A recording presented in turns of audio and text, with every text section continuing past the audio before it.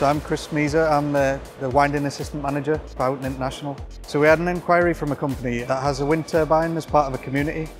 The wind turbine had failed in service and wasn't producing power anymore. They'd taken it out of service and sent it to us for inspection. On closer inspection when we received it, the turbine stator had a, an earth fault. It had a blast on the stator. The stator had been repaired in the past, so it was decided that no further repairs could be made to the stator and that a full rewind was required.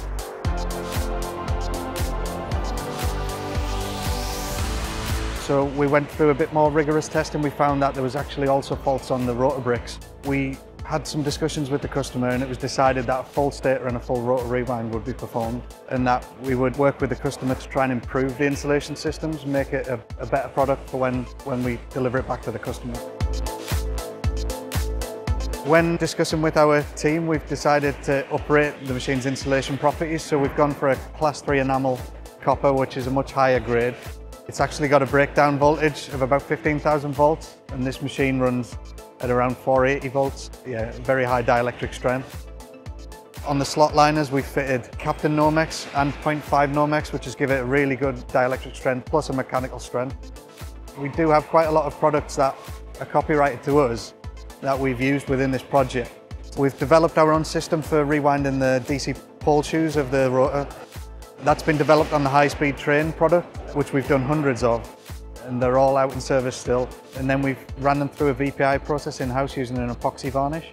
This just gives it a really, really strong finish. Um, it makes sure that the varnish is deep throughout the coil. and it also weatherproofs the coils very well.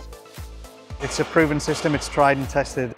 It's running on trains, so it is seeing weather a lot. It's seeing a lot of moisture and temperature changes, and um, it's proven to be a very strong system.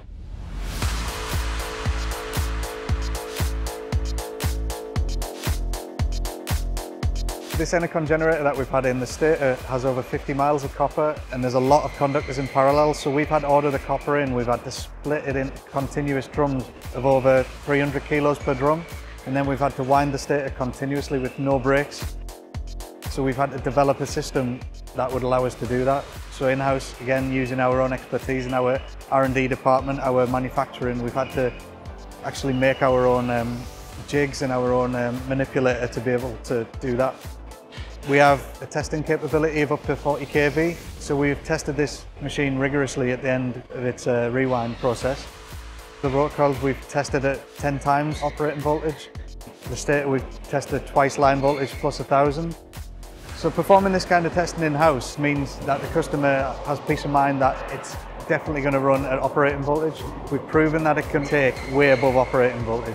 So it just gives the customer that peace of mind that it's going to run for a long time, that we've given them a quality product. As the world continues to electrify, the demand for the services we can provide is only going to grow and we're excited to be a part of that.